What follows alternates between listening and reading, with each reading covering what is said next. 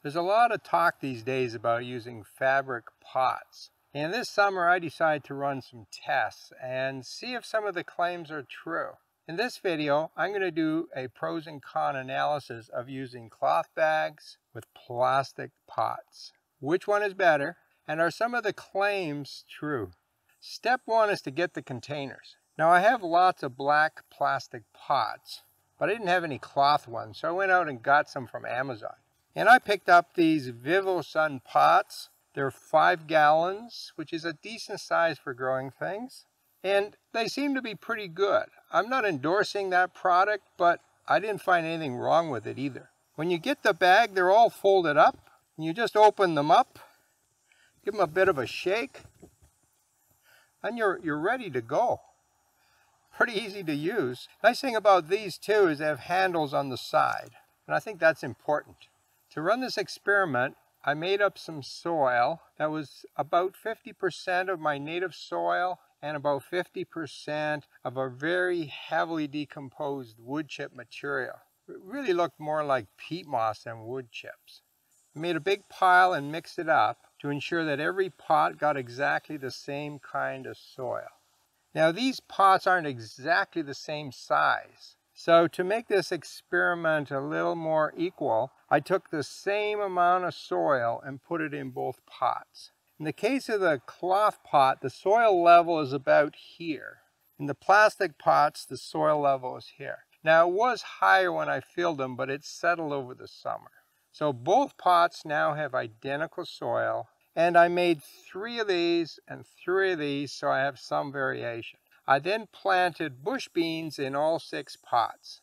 Now that part of the experiment was a bit of a disaster. Some of those bush beans didn't sprout, and the ones that did all got eaten by rabbits. They came in one night and just wiped me out. I think I have one bush bean plant left. So I just left the pots for the summer, and instead of vegetables, I'm growing weeds in these pots. It doesn't really matter for the experiment that I'm going to test here, as long as I have some plants growing in both. Before I continue, let me be clear about what I'm comparing here. I'm comparing cloth pots to plastic pots.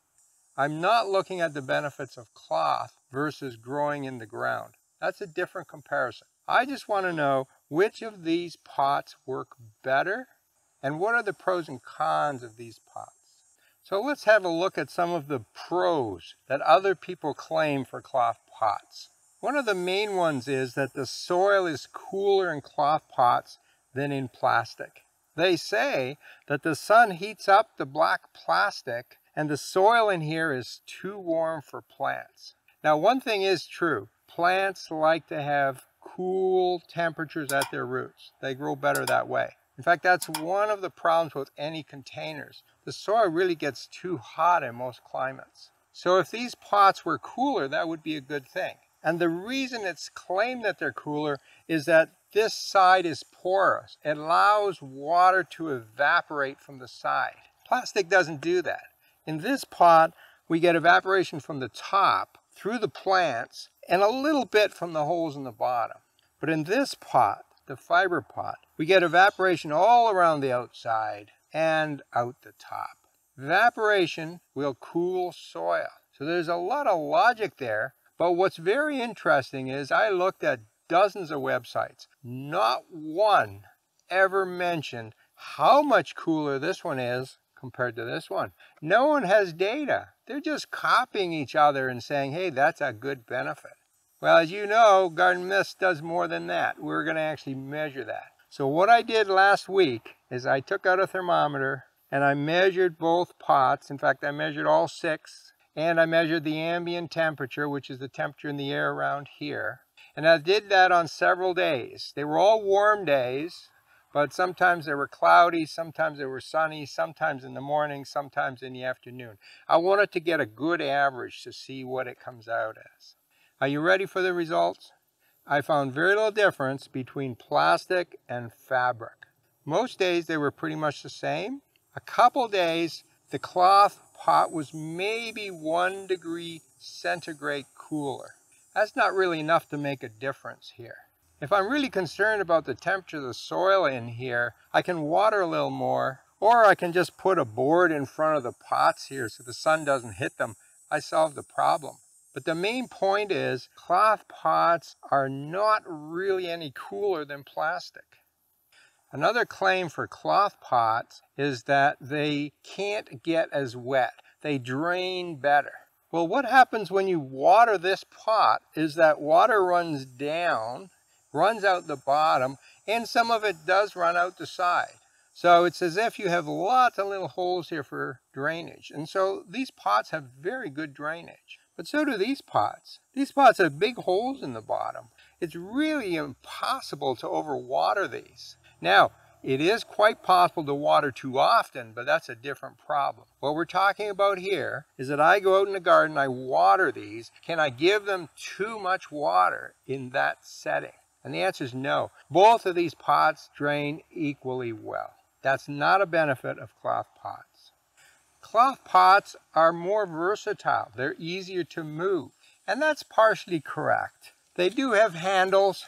They're easy to lift. Five gallons is pretty easy to move around. Here I don't have handles.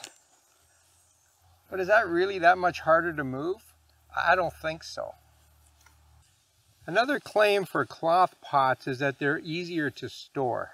And that is partially true. Now you have to get them at the end of the season, empty them out, fold them up. They don't take much space. But what about plastic? Well, they take a bit more space, but not a whole lot more space. I've got eight pots here and it's in a space like this. Another claim that's made for cloth pots is that they warm up faster in spring. Now to me that seems like a contradiction. In the summer, they're cooler because they evaporate a lot, but in spring, they warm up. Like, how does that work? When you're growing in containers, warming up in spring really isn't a big issue. If I want warm soil in here, I'll just take my soil and spread it out, let the sun heat it, then fill the pots. So I don't see warming up in spring a big issue in either case. It is important when you're growing in the ground, but not in containers. Well, what about the pros of plastic? There must be some benefits to it. One of those is durability. These cloth pots are good for about three years. Just looking on the internet and seeing what people say, usually after three years they're falling apart and they replace them.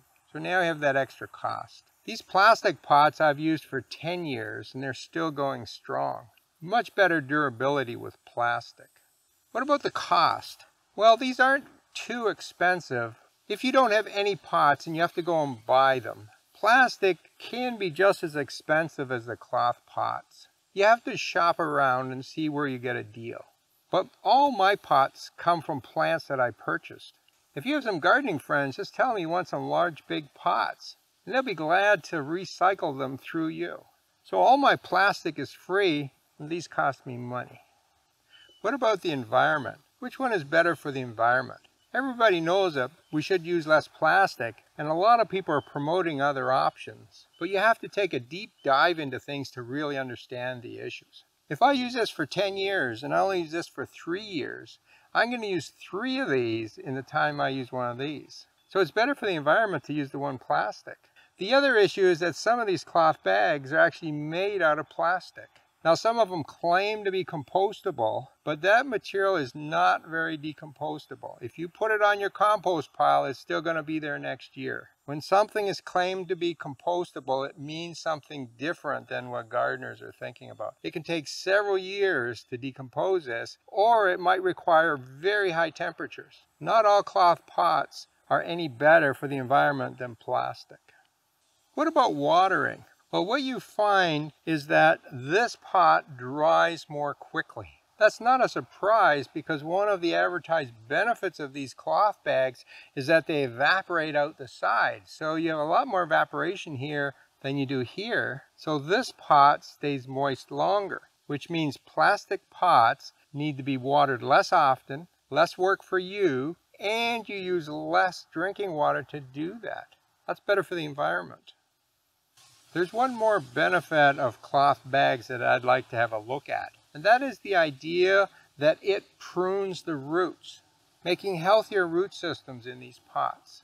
So what happens to roots in a plastic pot? They grow out to the edge. They can't grow any farther, so they start going around and around in a circle, and you get circling roots. You get this root ball with all the roots on the outside. Now, when we're growing trees, that's a real problem because trees will keep those roots for many, many years, and these circling roots are not good for it. Even when you put that tree in the ground, those roots stay in that formation and they can actually choke out the tree. It is a problem for trees, and people have been using cloth bags to stop that. But the question we have to ask, is there any benefit for the home gardener? Most of you are growing vegetables in these things. These are annuals maybe a few perennials. I want to compare the root systems of these two pots and see if there's any difference. In theory, the cloth pot will have all its roots in the center and have no circling roots. The plastic pot, on the other hand, will have a lot of circling roots. See what we got.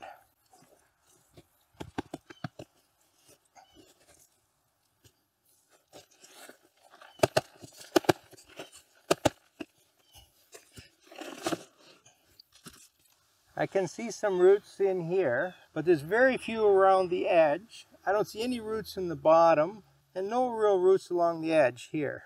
The one that came from the plastic pot is starting to show some roots around the outside. And you can certainly see roots here and they're starting to form along this rim. That's usually where the circling roots start. So it does appear as if the plastic pot is going to end up having circular roots and maybe the cloth pot has fewer or maybe none at all. But here's the point that I'm trying to make. If you're only going to grow vegetables in these pots for a few months, this is not an issue. If you're going to grow things in here for several years, well, it's better not to have circling roots. But for a tomato, it really doesn't make any difference.